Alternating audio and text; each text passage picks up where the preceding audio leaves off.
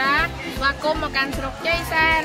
ទំនុកបំរុងនាងខ្ញុំឈ្មោះម៉ាលីហ៊ីអាយុ11ឆ្នាំនាងខ្ញុំរីករាយណាស់ដែលអង្គការទស្សនពិភពលោកបានធ្វើនៅអណ្ដូងទឹកអសហគមន៍ខ្ញុំអាចប្រើប្រាស់ជាងនេះទៅទៀតអង្គការទស្សនពិភពលោកបាននាំសហគមន៍ទាំងមូលធ្វើនៅអនាម័យក្នុងភូមិដើម្បីឲ្យជាផុតពីជំងឺនាងខ្ញុំសូមអរគុណ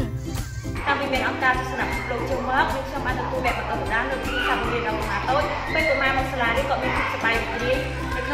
ក្នុងសាលាមត្តេយ្យហើយឪពុកម្ដាយគឺមានការចូលរួមច្រើនហើយខ្ញុំហើយខ្ញុំសូមអរគុណដល់អង្គការ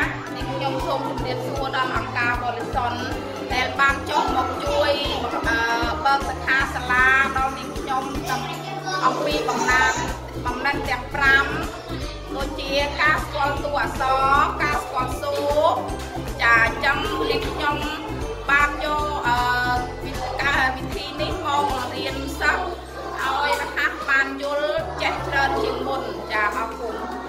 Currently, World Vision have responded to vulnerable families and children.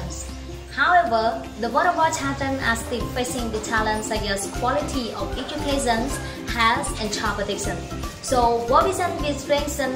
working as a partner with local authorities and community-based organizations to address those issues. ដល់អ្នកទំនុកបំរុងដែលបានគ្រប់គ្រងមកស្រុកជ័យសែននាងខ្ញុំសូមអរគុណ